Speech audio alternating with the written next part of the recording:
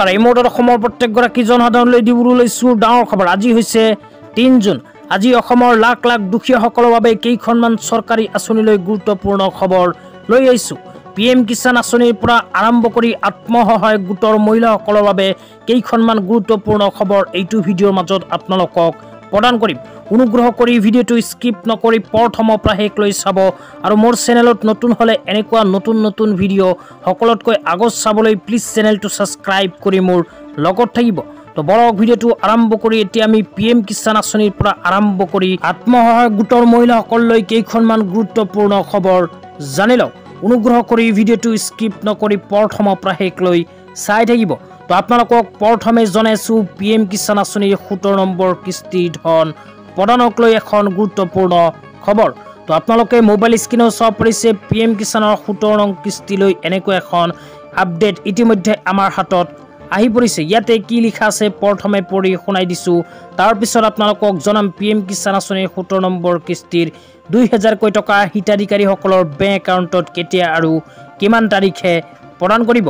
तो इतने लिखा से P M Kisan seventeen instalment good news for the beneficiaries of the Pradhan Mantri Kisan Samman Nidhi P M Kisan Yojana scheme the central government will run the M Kisan saturation drive from June fifth to June fifteen complete your K Y C through the drive to continue receiving benefits benefits of P M Kisan Samman Nidhi তো যিসকল মানুহৰ নাম P M Kisan আঁচনিত অন্তৰ্ভুক্ত হৈ আছে সেইসকল মানুহৰ কাৰণে আহি গ'ল ডাঙৰ খবৰ। কিয়নো অহা পাঁচ জুন তাৰিখৰ পৰা অহা পোন্ধৰ জুন তাৰিখৰ ভিতৰত কৰিব লাগিব এইখন কাম। অন্যথা আপোনালোকৰ নাম পি এম কিষাণ আঁচনিত অন্তৰ্ভুক্ত থাকিলেও কিন্তু পি এম কিষাণ আঁচনিৰ সোতৰ নম্বৰ কিস্তি ধন নাপাব। তো অহা পাঁচ জুন তাৰিখৰ পৰা পোন্ধৰ জুন তাৰিখৰ ভিতৰত কি কৰিব লাগিব এতিয়া আপোনালোকক বিস্তাৰিত জনাই আছোঁ। তো অহা পাঁচ জুন তাৰিখৰ পৰা পোন্ধৰ জুন তাৰিখৰ ভিতৰত যিসকলে ই কে ৱাই চি কৰা নাই সেইসকলে কৰিব লাগিব ই কে ৱাই চি অন্যথা বেংক একাউণ্টত নোসোমাব পি এম কিষাণ আঁচনিৰ সোতৰ নম্বৰ কিস্তিৰ দুই হেজাৰকৈ টকা। তো এতিয়া আপোনালোকক জনাইছোঁ পি এম কিষাণ আঁচনিৰ সোতৰ নম্বৰ কিস্তি কেতিয়া আৰু কিমান তাৰিখে হিতাধিকাৰীসকলৰ বেংক একাউণ্টত আহিব। তো যিসকল মানুহৰ নাম পি এম কিষাণ আঁচনিত অন্তৰ্ভুক্ত হৈ আছে সেইসকল মানুহৰ বেংক একাউণ্টত পি এম কিষাণ আঁচনিৰ সোতৰ নম্বৰ কিস্তি ধন চলিত জুন মাহৰ শেষত বা জুলাই মাহৰ প্ৰথমত প্ৰদান কৰিব। তো এতিয়া আপোনালোকক আজি দ্বিতীয়টো আঁচনিৰ বিষয়ে বিস্তাৰিত জনাই আছোঁ অনুগ্ৰহ কৰি ভিডিঅ'টো স্কিপ নকৰি প্ৰথমৰ পৰা শেষলৈ চাব আৰু মোৰ চেনেলত নতুন হ'লে এনেকুৱা নতুন নতুন ভিডিঅ' সকলোতকৈ আগত পাবলৈ প্লিজ চেনেলটো ছাবস্ক্ৰাইব কৰি মোৰ লগত থাকিব। তো দ্বিতীয়খন আঁচনিলৈ এনেকুৱা এখন আপডেট ইতিমধ্যে আমাৰ হাতত আহি পৰিছে। ইয়াতে কি লিখা আছে প্ৰথমে পঢ়ি শুনাই দিছোঁ তাৰপিছত আপোনালোকক বিতংভাৱে জনাই আছোঁ ইয়াতে লিখা আছে বিত্তমন্ত্ৰী নিৰ্মলা সীতাৰমণে দুহেজাৰ চৌব্বিছ পঁচিছ চনৰ বাজেটত ছাদৰ ওপৰত সৌৰ আঁচনি বা পি এম সূৰ্য ঘৰ মুফ্ত বিজুলী যোজনা আৰম্ভ কৰাৰ কথা ঘোষণা কৰে। তাৰপিছত আৰু লিখা আছে এই আঁচনিৰ জৰিয়তে আৱাসিক ঘৰৰ বাবে ছাদত সৌৰ পেনেল স্থাপন আৰু বিদ্যুতৰ বাবে সৌৰ শক্তিৰ ব্যৱহাৰৰ ৰাজসাহাৰ্য প্ৰদান কৰাৰ কথা ঘোষণা কৰে যাৰ ফলত বিদ্যুতৰ বিল ধন ৰাহি হোৱাৰ সহায়ক হ'ব। এই লেখাটোত ছাদৰ সৌৰ আঁচনি পি এম সূৰ্য ঘৰ যোজনা মুফ্ত বিজলী যোজনা সকলো কথা সামৰি লোৱা হৈছে। তো ভাৰত চৰকাৰে দুহেজাৰ চৌব্বিছ পঁচিছ চনৰ বাজেট ঘোষণা কৰাৰ সময়ত নতুনকৈ ঘোষণা কৰিছে এখন আঁচনি। আঁচনিখনৰ নাম হ'ল পি এম সূৰ্য ঘৰ আঁচনি। পি এম সূৰ্য ঘৰ আঁচনিৰ অধীনত প্ৰদান কৰিব চলাৰ। তাৰপিছত আৰু কি লিখা আছে আপোনালোকক বিতংভাৱে জনাইছোঁ অনুগ্ৰহ কৰি ভিডিঅ'টো স্কিপ নকৰি প্ৰথমৰ পৰা শেষলৈ চাব। আৰু মোৰ চেনেলত নতুন হ'লে প্লিজ চেনেলটো ছাবস্ক্ৰাইব কৰি মোৰ লগত থাকিব। তাৰপিছত লিখা আছে এই বিত্তমন্ত্ৰীয়ে দুহেজাৰ চৌব্বিছ পঁচিছ চনৰ বাজেটত এখন নতুন ছাদৰ ওপৰত সৌৰ আঁচনিৰ কথা ঘোষণা কৰে। ইয়াৰ পিছত প্ৰধানমন্ত্ৰীয়ে দুহেজাৰ চৌব্বিছ চনৰ পোন্ধৰ ফেব্ৰুৱাৰীত পি এম সূৰ্য ঘৰ মুফ্ত বিজুলী যোজনা আৰম্ভ কৰে। এই আঁচনিৰ অধীনত ঘৰত সৌৰ পেনেল স্থাপন কৰি ঘৰে ঘৰে বিদ্যুৎ আৰু অতিৰিক্ত বিদ্যুৎ উৎপাদনৰ বাবে অতিৰিক্ত ধন যোগান ধৰা হ'ব।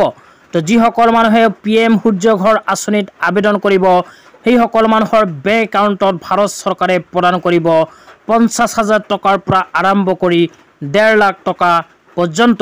তো আপোনালোকে যদি এতিয়ালৈকে পি এম সূৰ্য ঘৰ আঁচনিত আবেদন কৰা নাই তেন্তে আপোনালোকে কেনেকৈ আবেদন কৰিব বিস্তাৰিত জানিব বিচাৰিলে এইটো ভিডিঅ'ৰ কমেণ্ট বক্সত কমেণ্ট কৰি জনাই দিব। ইয়াৰ নেক্সট ভিডিঅ'ত আপোনালোকক পি এম সূৰ্য ঘৰ আঁচনি চলাৰ কেনেকৈ আবেদন কৰিব বিস্তাৰিত জনাই দিম। তাৰপিছত আৰু কি লিখা আছে আপোনালোকক বিতংভাৱে জনাই আছোঁ। অনুগ্ৰহ কৰি ভিডিঅ'টো স্কিপ নকৰি চাই থাকিব। তাৰপিছত লিখা আছে এই আঁচনিৰ জৰিয়তে দৰিদ্ৰ আৰু মধ্যবিত্ত পৰিয়ালে পঞ্চাছ হাজাৰ টকা পৰ্যন্ত সঞ্চয় কৰাত সহায় কৰিব। পোন্ধৰ হাজাৰৰ পৰা আৰম্ভ কৰি পঞ্চাছ হাজাৰ টকা বিনামূলীয়া সৌৰ বিদ্যুৎ লাভ কৰিব আৰু উদ্ধৃত শক্তি বিদ্যুৎ বিতৰণ কোম্পানীক বিক্ৰী কৰি বছৰি ওঠৰ হাজাৰ কোটি টকা উপাৰ্জন কৰিব পাৰিব। এইখন আঁচনিৰ জৰিয়তে। এই আঁচনিৰ অধীনত সমগ্ৰ দেশত এক কোটি ঘৰত সৌৰ পেনেল স্থাপনৰ লক্ষ্য কৰিছে ভাৰত চৰকাৰে। তো যিসকল মানুহৰ ঘৰত বিদ্যুৎ সংযোগ আছে সেইসকল মানুহে বিচাৰিলেই কিন্তু নিজৰ হাতত থকা মোবাইল ফোনটো দি পি এম সূৰ্য ঘৰ আঁচনিত আবেদন কৰিব পাৰে। আবেদন কৰাৰ পিছত পঞ্চাছ হাজাৰ টকাৰ পৰা আৰম্ভ কৰি ডেৰ লাখ টকা পৰ্যন্ত ৰাজসাহায্যযুক্ত চৰকাৰী চলাৰ লাভ কৰিব পাৰিব।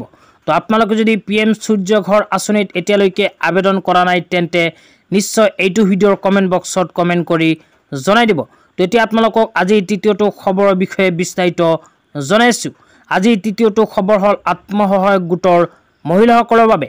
তো যিসকল আত্মসহায়ক গোটৰ মহিলাসকলে দহ হেজাৰকৈ টকা পোৱাৰ বাবে মুখ্যমন্ত্ৰী মহিলা উদ্যমিতা অভিযান আঁচনিৰ ফৰ্ম ফিল আপ কৰি জমা দিছে সেইসকল আত্মসহায়ক গোটৰ মহিলাসকলক অসম চৰকাৰে প্ৰদান কৰিব তিনিটাকৈ কিস্তি।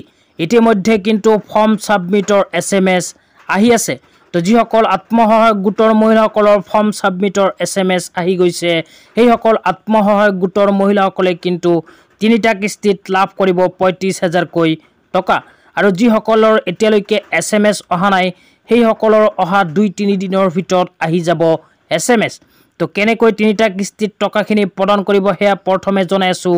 তাৰপিছত আপোনালোকক জনাম টকাখিনি কেতিয়া লাভ কৰিব।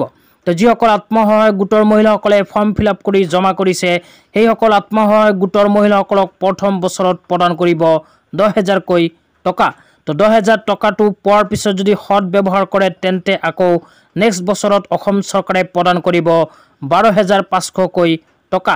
তো বাৰ হেজাৰ পাঁচশকৈ টকা পোৱাৰ পিছত যদি নিজৰ ব্যৱসায় আৰম্ভ কৰি সফলৰ ফালে আগবাঢ়ি যায় তেন্তে আকৌ নেক্সট বছৰত অসম চৰকাৰে বেংকৰ ফালৰ পৰা বাৰ হেজাৰ পাঁচশকৈ টকাৰ ঋণ প্ৰদান কৰিব। তো তৃতীয় কিস্তি হিচাপে যিটো বাৰ হেজাৰ পাঁচশ টকাৰ বেংক ঋণ লাভ কৰিব সেয়া কিন্তু আপোনালোকৰ ঘূৰাই দিব লাগিব।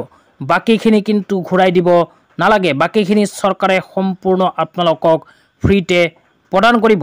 তো যিসকল আত্মসহায়ক গোটৰ মহিলাসকলৰ এছ এম এছ আহি গৈছে সেইসকল আত্মসহায়ক গোটৰ মহিলাৰ বেংক একাউণ্টত চলিত মাহৰ শেষতে সোমাব পাৰে দহ হেজাৰকৈ টকা। তো আজি ইমানেই ভিডিঅ'টো চাই কেনে পালে নিশ্চয় কমেণ্ট বক্সত কমেণ্ট কৰি জনাই দিব। লগতে মোৰ চেনেলত নতুন হ'লে এনেকুৱা নতুন নতুন ভিডিঅ' সকলোতকৈ আগত পাবলৈ প্লিজ চেনেলটো ছাবস্ক্ৰাইব কৰি মোৰ লগত